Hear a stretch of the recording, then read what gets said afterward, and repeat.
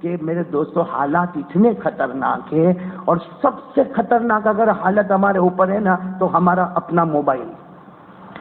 सबसे बड़ा ईमान छीनने वाला।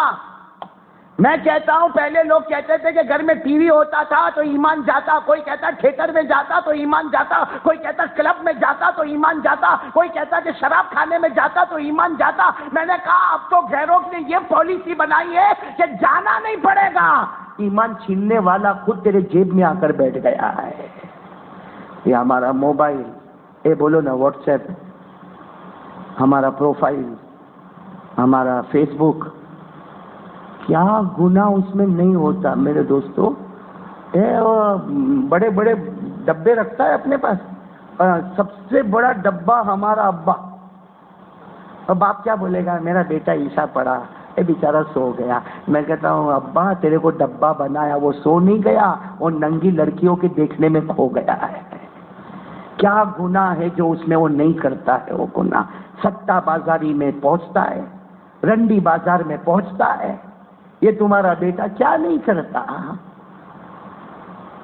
इसलिए मेरे प्यारों, आपसे मेरी एक अपील है। आज से ईमान के तरीके पर आओगे नहीं, इंशाल्लाह। एक बात बोलते हुए भी शर्म आती है। बोलो तो बोलो मैं। इसलिए मेरे को यहाँ गुजरात में हमने करीबी जगह है, वहाँ से खबर मिली मुझे एक भाई ने बताया कि मौलाना, शर्म से हमारा इलाका डूब मरे। हालाँकि हमारे गुजरात में जितने दारुल उलूम नज़र आते हैं, किसी और स्टेट में इतने नज़र, लेकिन चिराग तले अंधेरा। यहाँ के गुजरात के हमारा बहुत मेरा गहरा दोस्त है। उसने मुझे कहा कि मौलाना, एक लड़का जो एक औरत के साथ चैटिंग कर रहा है।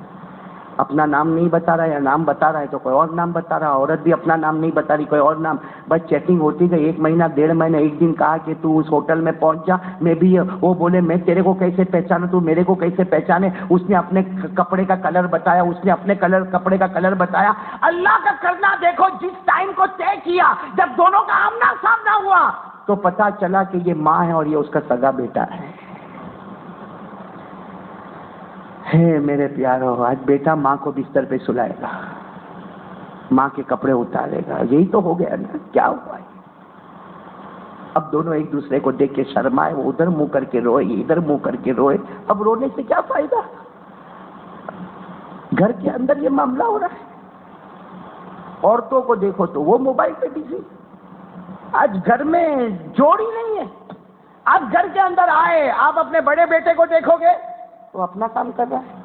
बेटी अपना काम कर रही है, बीवी अपना, ये तो ये ये ये क्या करेगा घर में आके? क्या घर है ये? मोबाइल इसलिए बना था कि दुनिया करीब हो जाए। सही में दुनिया करीब हो गई, लेकिन हमारे दिल एक दूसरे से कोसों दूर हो चुके हैं।